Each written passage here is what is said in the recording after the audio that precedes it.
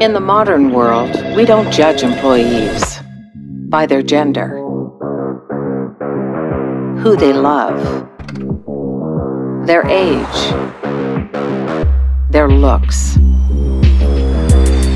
the color of their skin, or their religious views.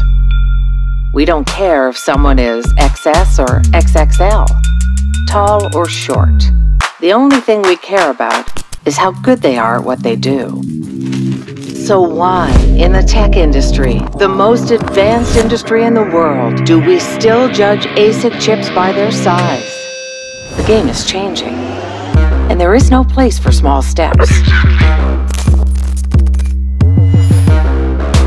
Bitfury Clarke, full custom design, measured by success.